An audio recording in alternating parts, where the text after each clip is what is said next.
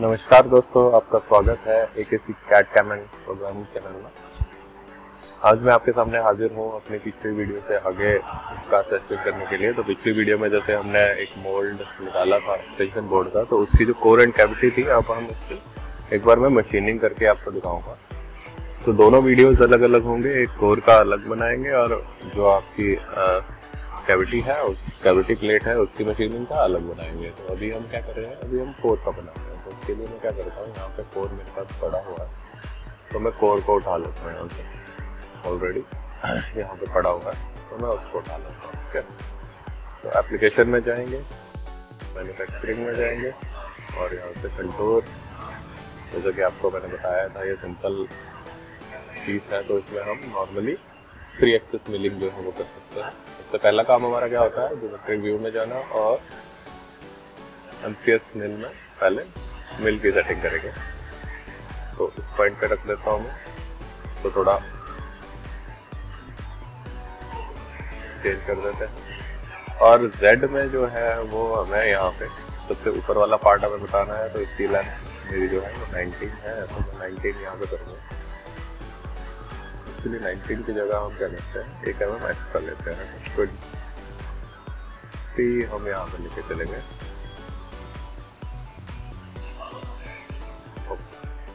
उसके बाद मैं ओके कर देता हूँ। ये हमारा एम जो है वो सेट हो गया है। एम के बाद दूसरी चीज़ आती है वर्क पीस की। वर्क पीस पे क्लिक कीजिए। स्पेसिफाई पार्ट पार्ट में हमारा ये वाला पार्ट आ जाएगा। ओके ब्लैंक में जाइएगा। और यहाँ पे बॉन्डिंग ब्लॉक हमें सिलेक्ट करना है। कोई भी एक्स्ट्रा हमने वहाँ पे ऑलरेडी दे रखा है तो हम एक्स्ट्रा नहीं देंगे यहाँ पे। ऐसे यहाँ पे नहीं आया एक्स्ट्रा हम क्या करेंगे? यहाँ पे जेड में एक हम एक्स्ट्रा तो वो ऑटोमेटिकली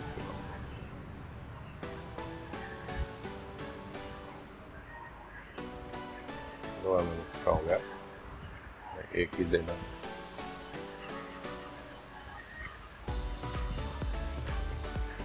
एक एम देंगे हम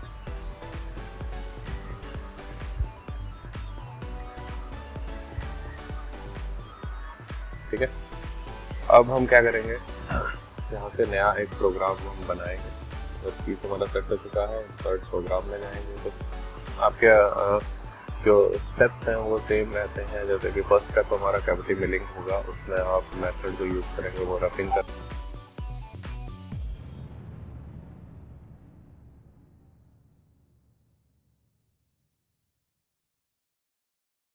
टॉप व्यू में। तो सिलेक्ट कीजिए और बाकी हिस्सा भी सिलेक्ट करेंगे। ओके उसके बाद हम क्या करेंगे? यहाँ से टूल स्पेसिफाई करेंगे तो रफिंग है तो आप बड़े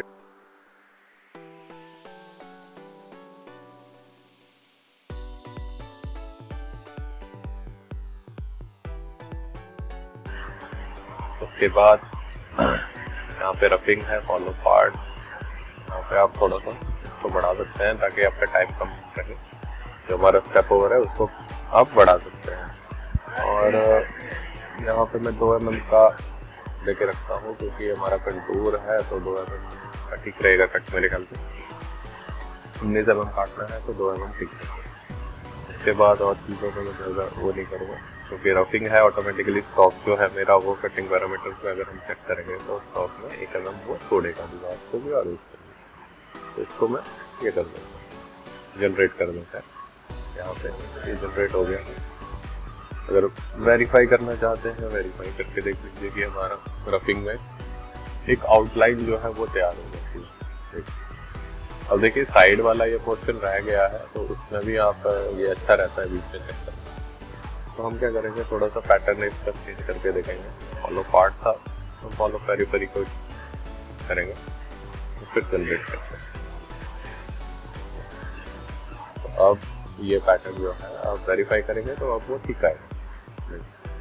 और वो एक्स्ट्रा मटेरियल जो था, वो सिर्फ़ बीच में रहेगा वहाँ में ओके तो यहाँ पे स्टेप्स आपको दिख रहे होंगे। अब इन्हीं स्टेप्स के लिए हमारे पास होती है रेस्ट मिलिंग रेस्ट मिलिंग तो सेकेंड ऑपरेशन हमारा कौन सा होगा? रेस्ट मिलिंग का, जो ऑलरेडी हमारा कंपोनेंट में से बच गया है। इसमें हम क्या करेंगे? सेमी फिलिंग वैसे इसमें आप फिनिश भी कर सकते हो, लेकिन हम तीन स्टेप में करेंगे। तो इसीलिए मैं इसको सेमी फिनिश वाला पोर्शन मैंने चूज़ किया। तो मैं सिलेक्ट कर लेता हूँ इसको इसको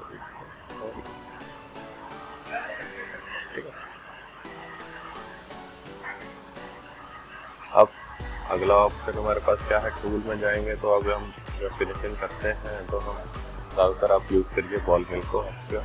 अच्छी फिनिशिंग आती है। तो फाइव एम की बॉल मिल में यहाँ पे यूज़ कर रहा हूँ। ओके कर देंगे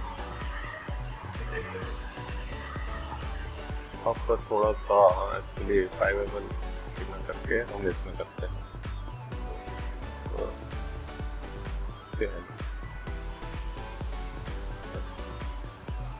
और यहाँ पे भी आप क्या करेंगे फॉलो पेरिफेरी कर दीजिए। परसेंट ऑफ़ फ्लैट डायमीटर और यहाँ पे जो आपका डेप्थ ऑफ़ कट रहेगा, वो हम थोड़ा कम रखेंगे, एक एम के करीब रखेंगे। ये पर पॉइंट एट रखिए।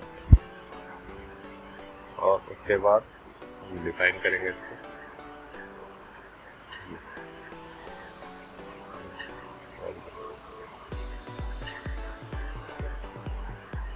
ये हमारा बना है। ओके करेंगे, इसको एक बार फिर से वेरीफाई इसको भी कर लेते हैं।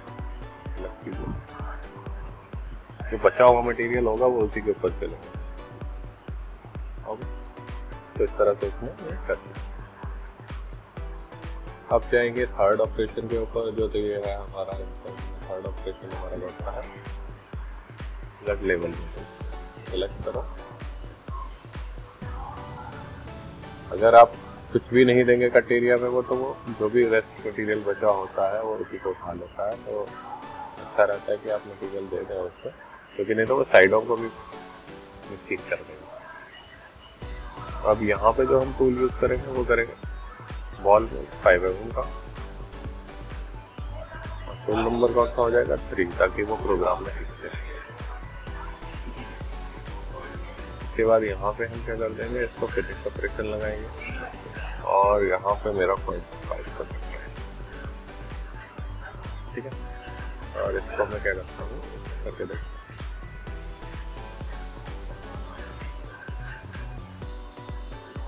वो जो मटेरियल उसने बचा हुआ था, सिर्फ़ उसी के ऊपर ये चला।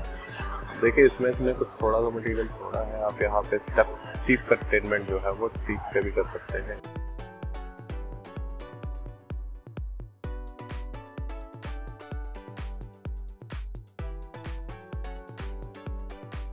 है तो उससे वो सिक्सटी फाइव से ज़्यादा वाले जो एंगल होंगे वो नीचे चलता है तो इसमें अगर हम एंगल कम कर देते हैं तो वो ज़्यादा जगह को कवर अप करेगा।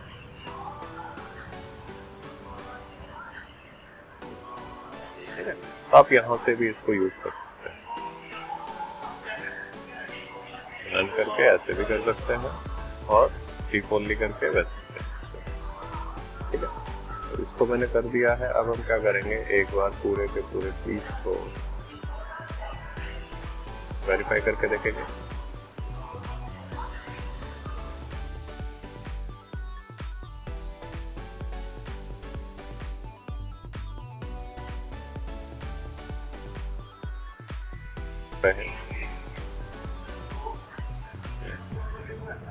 तो यहाँ पे इस तरह से हमारी ये कटिंग जो है, वो